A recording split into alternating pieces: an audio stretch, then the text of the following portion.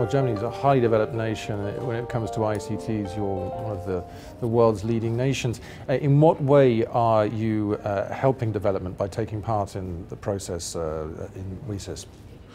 We, we have uh, supported, uh, on, on one hand, uh, the physical infrastructure to develop yeah, all the means to get access to internet in African countries, for instance. That's very important. Connectivity is not uh, uh, very good in Africa. That, on the other hand, we also have used uh, ICT technologies for uh, e-governance, for e-education.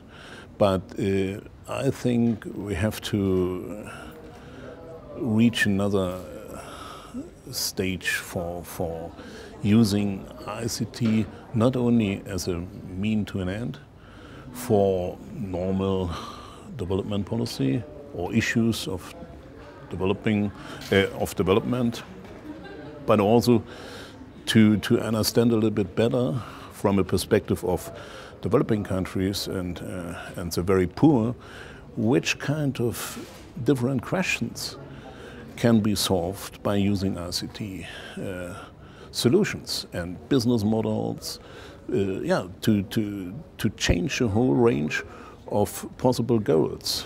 That's what a new technology has uh, changed everywhere in history. And ICT will do it. And, and maybe the most interesting part of the world where ICT can change a lot is uh, the, the developing world. Well, with regards to the objectives, they're clearly defined in the WSIS process, the, uh, the action lines. Uh, where would you say that Germany is making the, the most progress? Uh, I, I would like to underline that the, the main uh, progress we, we have made or we want to make is, is the educational sector. I think education is key for development, but new uh, approaches for educational, uh, yeah, for, for every kind of education, vocational training, university, universities, but also primary schools and, and high schools. That, that's all, it's interesting uh, for using this uh, ICT uh, issues to, to yeah, to, to have the same access to information for a student in, in, in Burkina Faso like a professor in Harvard. So that what will, will change, uh, that, that will change a lot.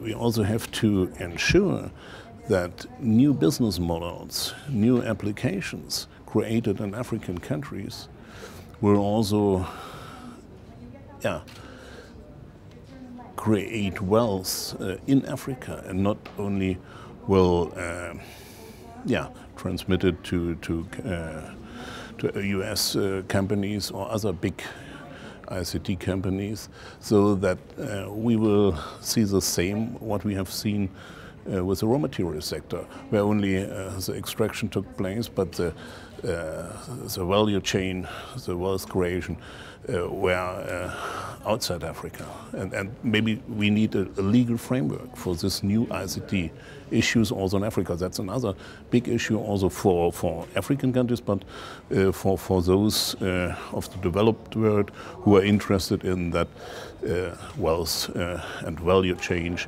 and, and benefiting and, and benefit will be in Africa.